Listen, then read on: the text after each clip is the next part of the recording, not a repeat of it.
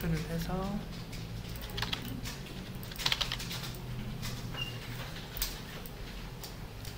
자 이제 요거 누르면 이게 밑에 쭉 내려오면 돼요.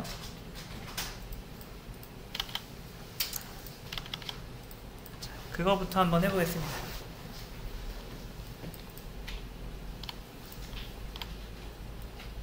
자, 그럼 여기를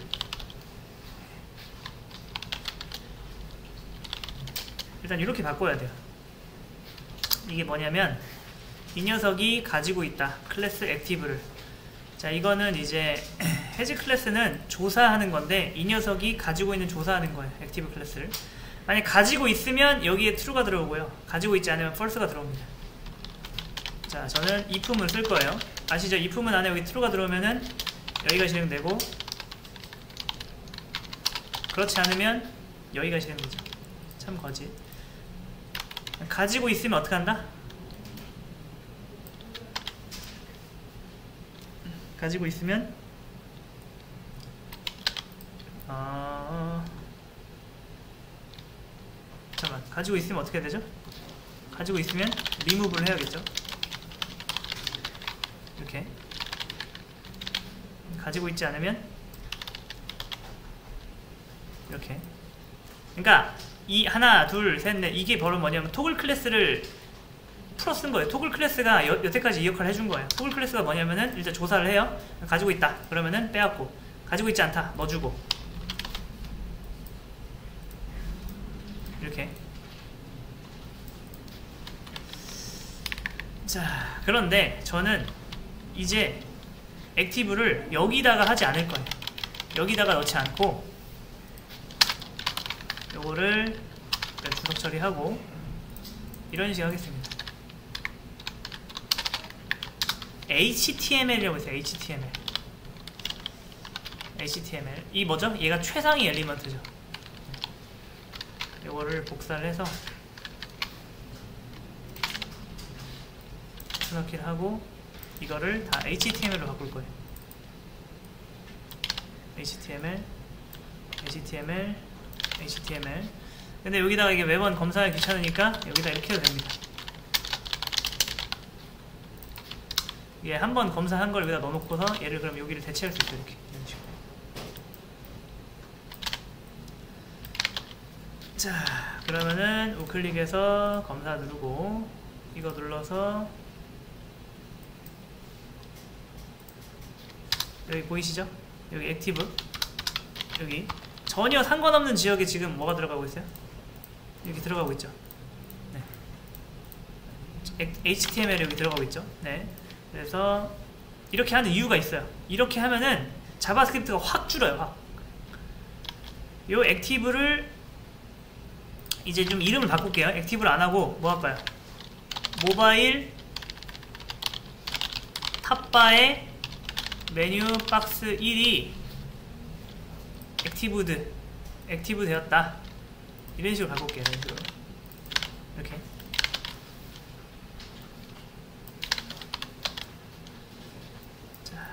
그 다음에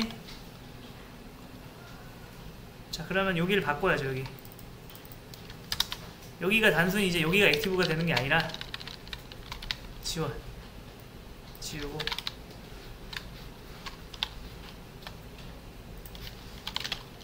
이렇게 어, 만약에 HTML 앞에다가 이게 들어가면은 이게 들어간 녀석 그러니까 들어간 상태에서의 요거는 이렇게 되는 거예요. 한마디로 여기 있는 게 여기로 앞으로 가는 거죠. 자, 해볼게요.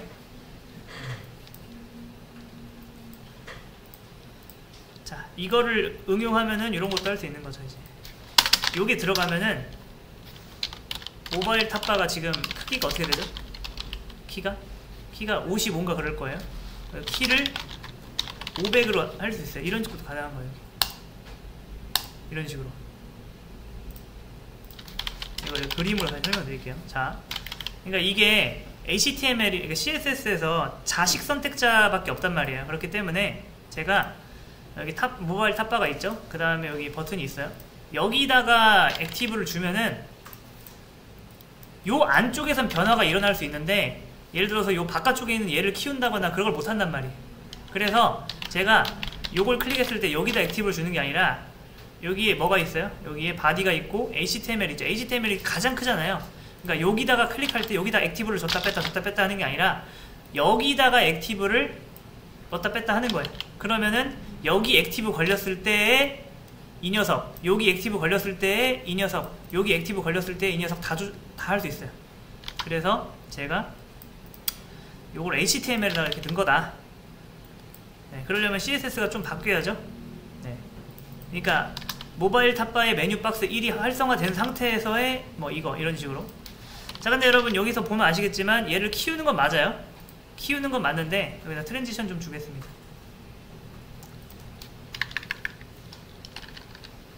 높이 어딨어? 높이 여기 있네 transition 높이 0.3초 0.5초로 할까요?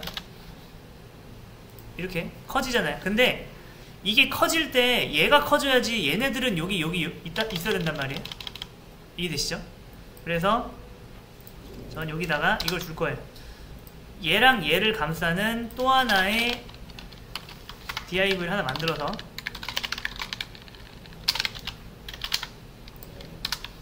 그러니까 얘랑 얘랑 감싸는 요, 요걸 만들고 여기다가는 네. 줘야 될게 그래서 주고. 여기 주고. 그 다음에 자 해볼게요. 모바일 탑바 밑에 있는 div 여기다가 높이를 57로 주는 거예요. 그러면은 이게 어떻게 되는 거냐면은 이렇게 되는 거예요.